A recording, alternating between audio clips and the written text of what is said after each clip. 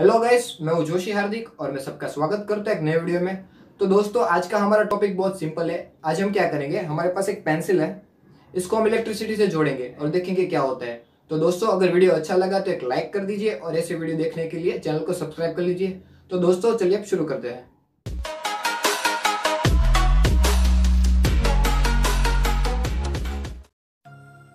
तो गाइस जो बाज़ार में मिलती है, वही नॉर्मल वाली पेंसिल हमने यहाँ पे ली हुई है। और हमें उसकी एक साइड की लीड निकाल देनी है। देखिए, इस तरह से हम कटर की मदद से इसकी लीड निकाल देंगे।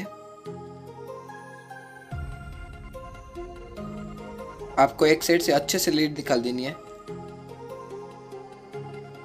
तो देखिए, यहाँ पे निकल गई अच्छे से। और वैसे ही दोस्तों, हमें दूसरी साइड से भी लीड निकाल लेनी है।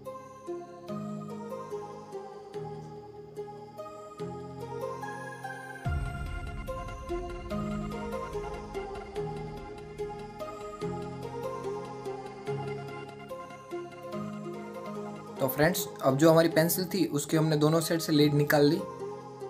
अब ये तैयार है। तो चलिए बाकी की प्रोसीजर फॉलो करते हैं।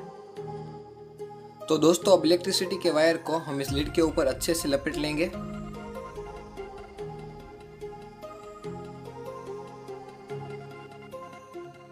और वैसे ही हमें दूसरी साइड भी अच्छे से लपेट लेना है इस वायर को।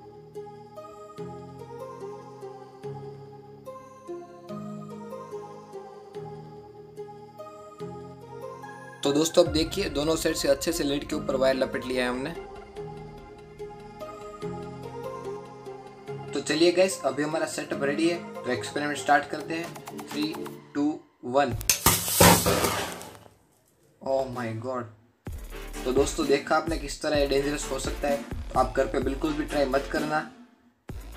तो दोस्तों, आप देख ही सकते हैं, सिर्फ़ एक सेकंड में इलेक्ट्रिसिटी ने पेंसिल का क्या हाल कर दिया है। तो गाइस अभी हम एक्सपेरिमेंट 0.5 एम के की लीड के साथ ट्राई करेंगे। तो गाइस अगर वीडियो अच्छा लगा तो एक लाइक कर देना और ऐसे वीडियो देखने के लिए चैनल को सब्सक्राइब कर देना।